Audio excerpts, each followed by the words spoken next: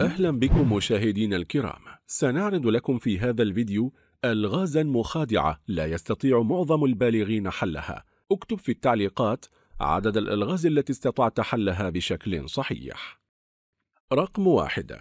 وجد أحد الرحالة نفسه وحيدا في منزل مسحور بعد أن ضل الطريق. انغلق الباب وسمع الرحالة صوت الساحر المرعب وهو يقول إنه يمكنه الخروج من المنزل من خلال أحد الأبواب الثلاثة. خلف الباب الأول يوجد دب ضخم جائع وخلف الباب الثاني توجد نباتات خطيرة تتغذى على لحوم فرائسها. وخلف الباب الثالث هناك حريق. ما هو الباب الأمثل للخروج؟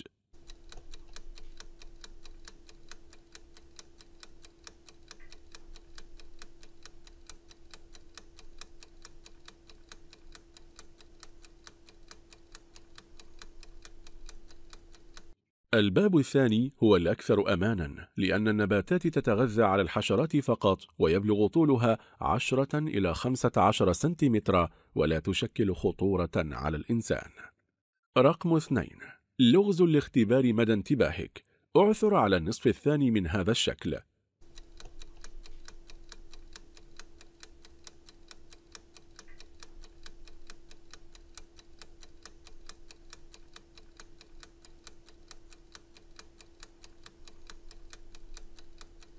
هذه هي الإجابة. إضغط على علامة الإعجاب إذا كانت إجابتك صحيحة وهيا نكمل. رقم ثلاثة. شارك جاك في سباق للسيارات ولم يحالفه الحظ. كان ترتيبه الخمسين في أكثر السائقين سرعة وفي نفس الوقت كان ترتيبه خمسين في أبطأ السائقين. انتبه للسؤال. ما هو عدد السيارات المشاركة في السباق؟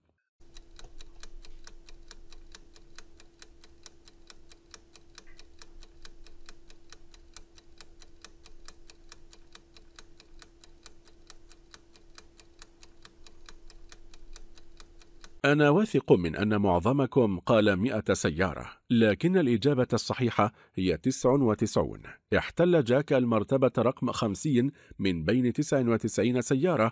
بهذا الشكل يكون ترتيب جاك 50 في أسرع السائقين و50 في أبطأ السائقين. رقم 5 كان هناك لص في المدينة اشتهر باختطاف الرهائن ومطالبة ذويهم بالفدية ولم تستطع الشرطة القبض عليه طويلا. لم يعرف المحققون شكل المجرم على وجه التحديد إلى أن جاءتهم معلومة تفيد بأن اللص مختبئ في منزل مهجور في الغابة. عندما وصلت الشرطة إلى هناك اقتحمت الباب فوجدت رجلا ادعى بأنه اختطف منذ أسبوعين وحبسه اللص مع كمية قليلة من المياه والطعام. وقال بأنه سيحرره عندما يحصل على الفدية إلا أن الشرطة ألقت القبض على الرجل بعد أن أخذت أقواله. لماذا؟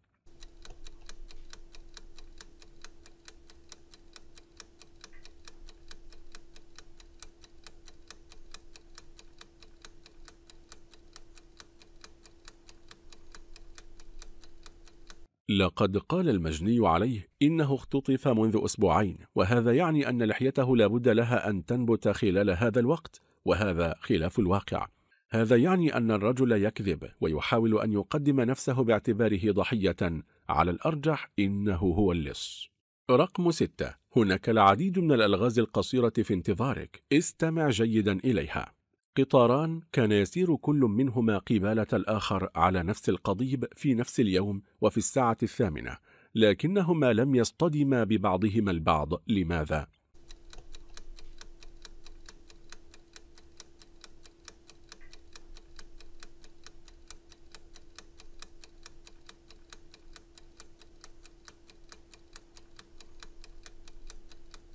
أحد القطارين كان يسير في الساعة الثامنة صباحا والثاني في الساعة الثامنة مساء لذلك لم يصطدما.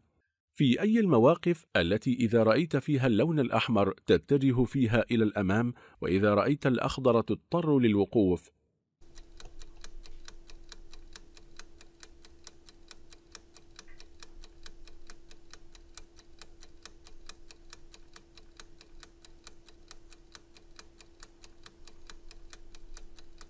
هذا يحدث عندما تأكل البطيخ. ما هو الشيء الذي يفقد رأسه كل صباح ويحصل عليها في كل مساء؟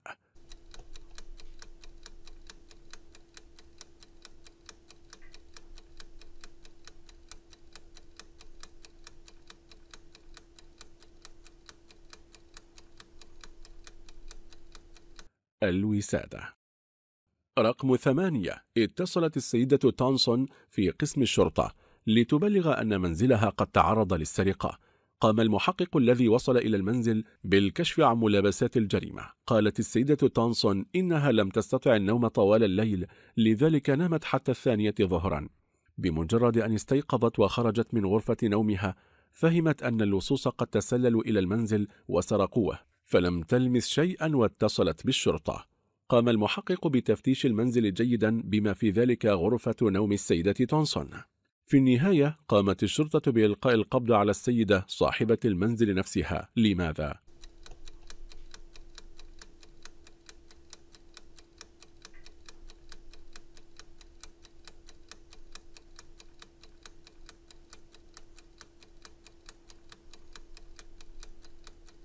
لعلكم لاحظتم وجود عباد الشمس في غرفة نومها. هذه الزهور اسمها كذلك ليس للونها الأصفر. الأمر يكمن في أن عباد الشمس يتبع حركة الشمس أثناء فترة النهار ويتحرك أينما وجدت الشمس. هذا يعني أن زهرة عباد الشمس في هذه الفترة ينبغي عليها أن تكون ملتفة إلى النافذة. بينما قالت السيدة إنها لم تلمس شيئا قبل مجيء الشرطة هذا يعني أنها تكذب وعلى الأرجح هي التي قامت بالجريمة. رقم تسعة شكت زوجة في سلوك زوجها بالخيانة لكنها لم يكن لديها دليل فقامت بتأجير محقق خاص وهو الذي قام بمراقبة الزوج وكان يقوم بتصويره أثناء اليوم وبعد ذلك سلم هذه الصور إلى الزوجة فهمت الزوجة على الفور أن زوجها يخونها بعد أن نظرت إلى الصور لماذا؟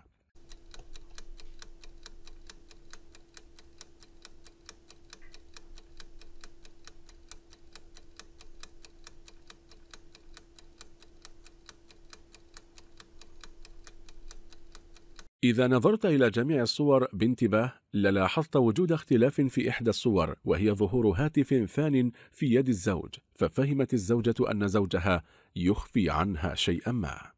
رقم أحد عشر أخرج الشكلين المتشابهين في الصورة.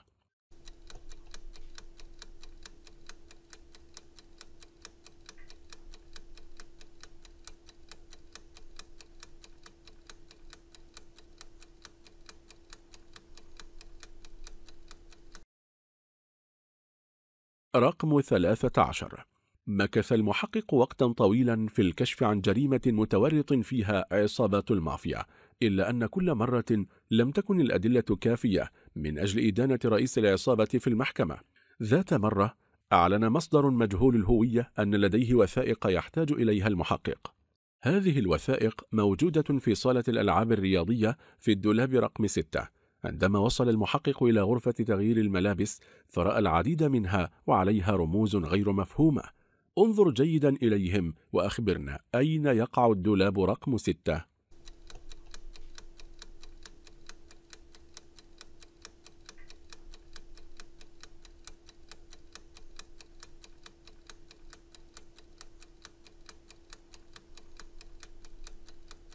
إذا فهمت المنطق الذي تعمل به هذه الأعداد الرمزية لعرفت الدولاب المراد. كل رقم كان مرتبطا بانعكاسه في المرآة. الدولاب رقم ستة يوجد هنا. رقم 14 لغز بوليسي آخر. وقعت جريمة سرقة في أحد المنازل خارج المدينة. لاحظ صاحب المنزل بعد أن عاد من مأمورية استغرقت يومين لاحظ أن هناك العديد من الأشياء الثمينة قد ضاعت. قالت الشرطة التي وصلت من أجل معاينة المكان إن الجريمة حدثت منذ يوم تقريبا وقع ثلاثة أشخاص يعيشون بالجوار في دائرة الاشتباه. قال توم بأنه كان في العمل في هذا التوقيت وعاد في وقت متأخر. وقال مارك بأنه منذ يومين كان مريضا بالجدري ولم يخرج من المنزل. هذا يعني أنه لم يستطع أن يقوم بالسرقة. وقالت كريستينا بأنها سافرت في إجازة لمدة أسبوعين وعادت اليوم في الصباح الباكر. فهمت الشرطة على الفور من هو اللص بعد أن استمعت إلى أقوالهم فمن هو ولماذا؟